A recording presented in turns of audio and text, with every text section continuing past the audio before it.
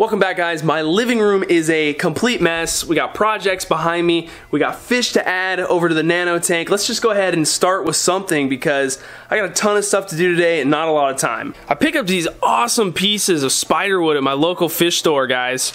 Check these out. So flip this one around here. They clearly have a base and just look at all that branch man some serious branch on that piece. Pretty tall too, I'd say about two feet. And then we have this smaller one down here. The only thing I wish is that they had a little bit more 3D to them. They're kind of flat in that they're, you know, very singular in their plane, but I think they're going to be really cool. My uh, local fish store owner is going to be on the lookout for some more huge pieces for me because I need them for an upcoming rescape. There's some stuff going on over here too. We'll get to that in just a second. Let's slide over here to this super messy part of the room. I still, I just, I can't even get my life together, you know? Like, there's rocks everywhere. Some milk. I didn't finish my milk. Like, what, what am I doing? Anyway, let's see what we got here. Also at the fish store, picked up some new fish, some new nanos to go into the nano tank with the chili rasboras, which are hiding somewhere back there. There you can see a few. But we need to get some bottom feeders down here, so we got some pygmy cories. We got six of them. You can't see them very well. They're already temperature acclimated, so we're gonna go ahead and pour them in the tank, and then we'll check them out.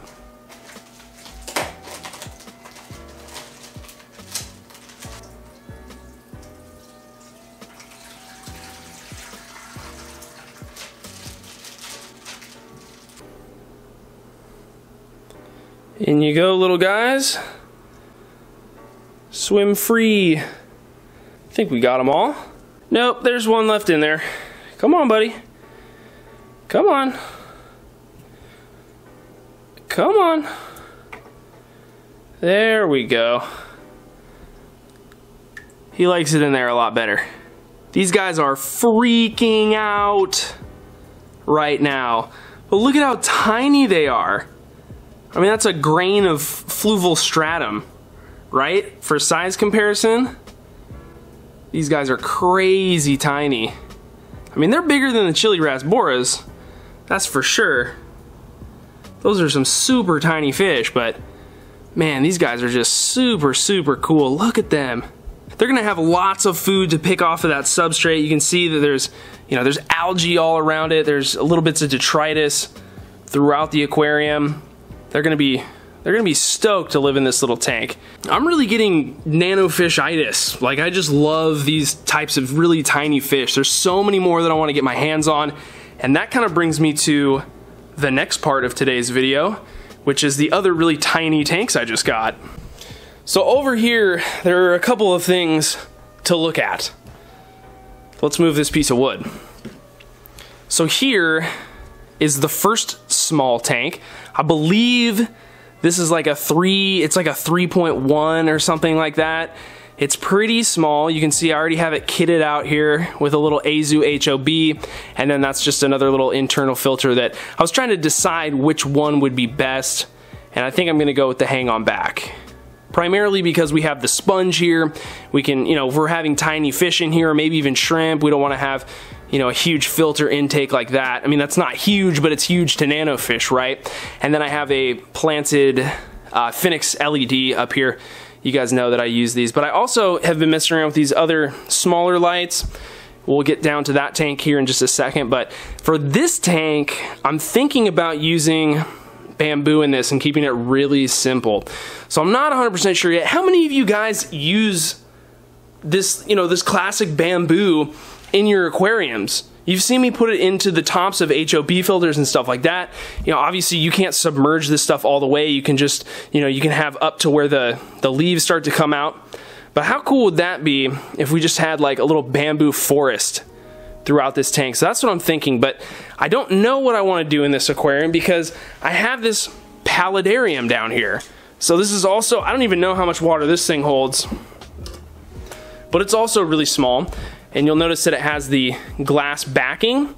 So I'll have to test and see how much water this takes. It can't be much more than, it can't be more than like a 1.5 gallons. but I don't know. We'll have to find out. Um, I also need to pick, you know, I, I just got this LED up here.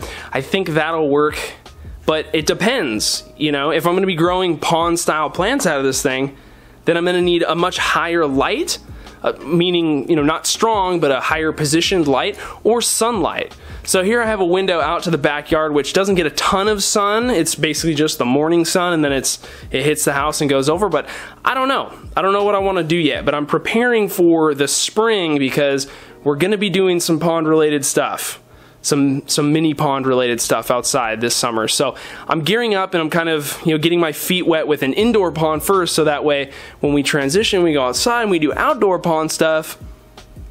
Then we have some experience under our belt. So that's a work in progress. This whole area, I mean, it's just it's it's it's a nightmare. So let's stumble back over here. Let's see how our Corys are doing. Hey, buddy. What's up? Everybody just likes to hide in this back corner. I don't know what the deal is. But those guys are chilling. I want to get some more chili rasboras. There's some other uh, dwarf rasboras in this tank. Really fill it out. Just have some more stuff schooling around in here. But then we have the 33. Still doesn't have any new fish in it, but we're getting closer. Getting very close, all right? I'm taking my time. The carpet is doing crazy good. Remember we hacked it back? That tall stuff has continued to grow, but very slowly. But now we got all new growths on this stuff. It's just looking so good. It's crazy, guys. Absolutely crazy. So we're gonna be doing some work on that tank very soon. Let's fly on over to the other side of the room. Check out the peacocks. They're also doing pretty good. There's my big boy right there. Or that's not my boy. Where's my boy at? He might be hiding.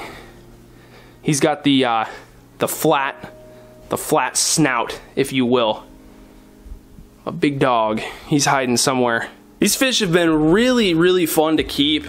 They're fairly active. I mean, they're pretty much always at least in the middle of the tank. They don't hang out at the bottom and hide a ton. So it's been nice to sit back and have this tank to look at. Been dealing with a little bit of algae in here and what I do is I come down here where I keep my toothbrush that I brush my actual teeth with, of course, and and I just work on the glass whenever I have algae. Some of these spots down here are really hard to reach with uh, you know a magnet scrubber or even your hand.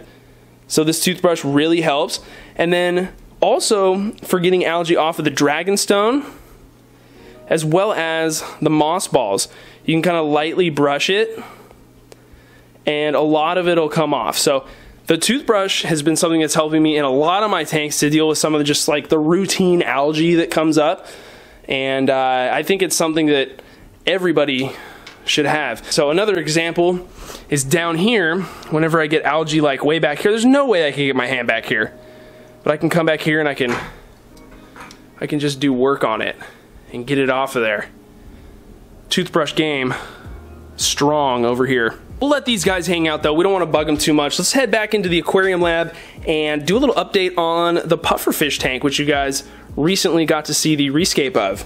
Here we are at Puffer Cave Rock House Tank Place. All the Anubias doing pretty well.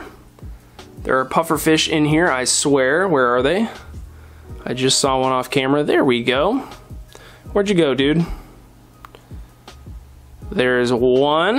One of my skinnier pufferfish. There's one in here, and I think it's this guy who's just a little too thin for my taste. I hope that he doesn't have any kind of parasites. I might have to treat the tank one more time, but everybody else is looking pretty good. Like, you know, that guy looks normal. Homies in the back look pretty good. He's way back there though. It's been actually about like a week and a half since I did the work on this aquarium and so far you know the moss is doing pretty good. A little bit of algae up there at the top but that's you know to be expected. It's right under the light source. I've been keeping the Kessil super low so it's almost let's see if I turn it that's increasing. So if I turn it down what's the best way to show this? It's it's a little bit less than halfway as far as the intensity goes. And I think it really just helps, everything in the tank appreciates it. So that's how I'm running it. You know, I've been feeding a ton of snails. I don't think there's gonna be any chance for a snail population to grow in here unless I add some real big ones and like literally go and hide them in the back, like just stuff them down into plants to where they can't get got right off the bat, but even then I'm not 100% sure. So I'm just doing the normal thing, bloodworms, throwing in some snails every once in a while. Everybody's doing pretty good. I'm thinking about moving the nano tank here to somewhere where I get to see it a little bit better. It's kind of low over here and I don't know, I just don't get to spend enough time looking at it. I think it's a pretty cool escape, and now that my plan is to add more cool fish to it, I'm thinking it needs a new home, but I gotta figure that out. I wanna have something that's like close to my desk, but that room in there, the uh, aquarium lab, is getting pretty full. There's not a lot of real estate in there, so I need to I need to kind of brainstorm some better ways to show off these smaller tanks. And I'm gonna have to rename this tank something because pretty soon here I'm gonna have more than one nano tank, so obviously can't call this the nano tank anymore or else people are gonna get confused, including myself.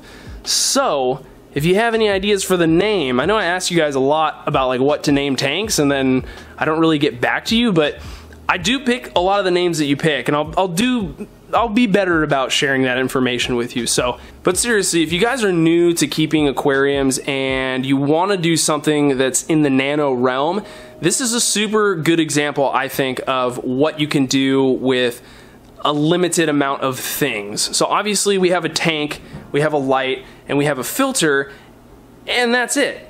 I mean, really, we have two things plugged in. This power head is our filter. It has a big sponge down below it, and it creates more than enough flow throughout the aquarium because this is, you know, like a three gallon tank. And our light is probably a little bit of overkill, but I think it throws a nice color temperature and makes things look nice in the tank.